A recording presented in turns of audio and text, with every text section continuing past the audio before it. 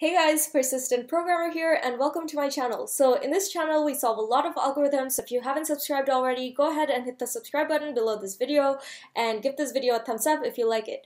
Without any further ado, let's go ahead and look at today's question. Awesome, so this question asks us to match um, the brackets in a string and make sure that they are properly closed. So properly closed brackets means that um, when you have um, a bracket like this that's not properly closed because you can see the open bracket is different from the closed bracket.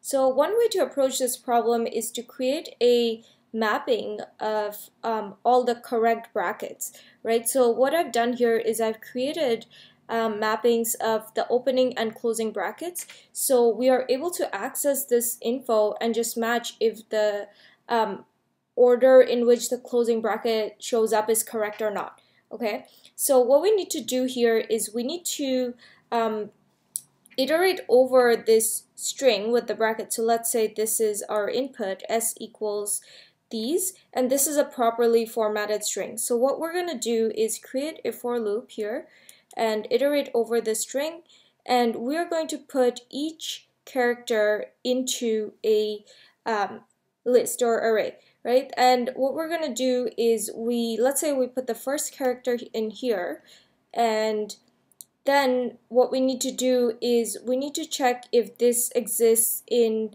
um, our mapping. So the way we know that it's an opening bracket is we're going to check if it exists in the mapping here, right? So this exists in the map, so we put it in. And then what we do is when we encounter the closing bracket, this is when we access this element here and match this value. So we say, hey, um, at this index, when we find a closing bracket, we need to make sure that that closing bracket is the same as what is in the correct uh, pairing in our pairs map. So that's the basic idea um, behind the solution to this problem.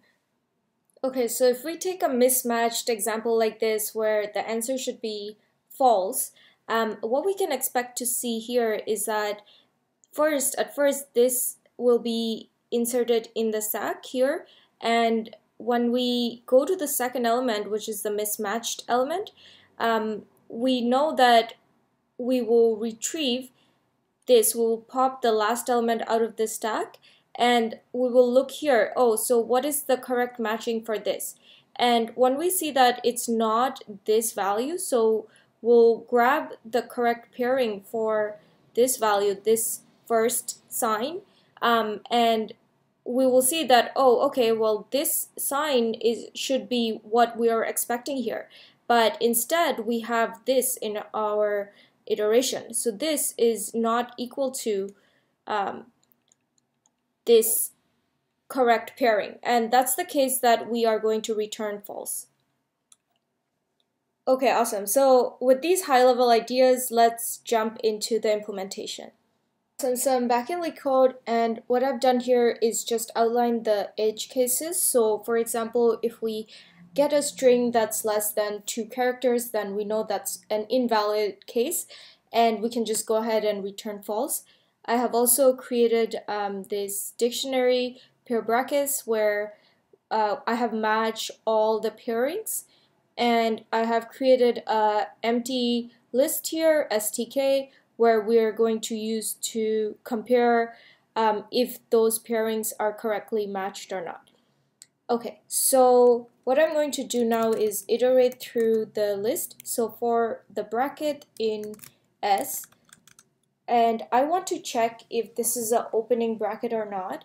So to do that, I can just check if that bracket is in the pair brackets or not. So if so if we are in pair brackets,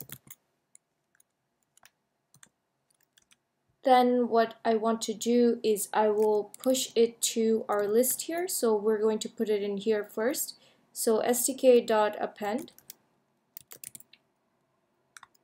that bracket. Okay, awesome. So now we have something in the um, STK list. And okay, the other case that can happen is if um, we are given a, if we're given a string that just starts with a closed bracket, so we need to take care of that. In that case, there will be nothing in the um, list here, right? So for that case, we need to check if stk is not empty, if len of stk is greater than zero, okay? Um, or sorry, if it is equal to zero, that, that's when we want to return false. Or if we have a case where um, where this bracket does not match the paired bracket. So for that case, we also will return false. So or um, let's pop the element out of here. So we're going to pop stk dot pop and so this is this element this open bracket. Now we need to check if that is matched with this end bracket or not. So we need to access this value here. So to do that we will say um, pair brackets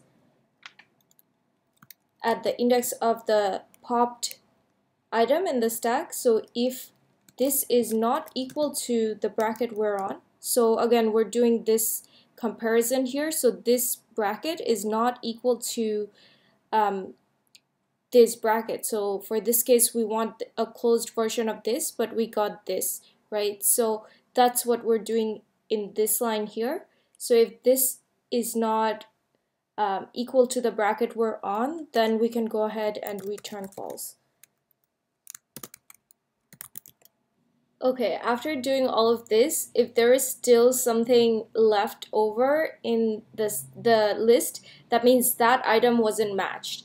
And we can, for that case, we can go ahead and return false here. Um, Otherwise, if all of this passed and there were everything was matched up and there's nothing left over in this list here, then we can just go ahead and return true. Um, oh, I'm missing a semicolon here, or a colon here. Okay, so this looks good. I'm gonna go ahead and run this. Okay, accepted and submit. Yay, success!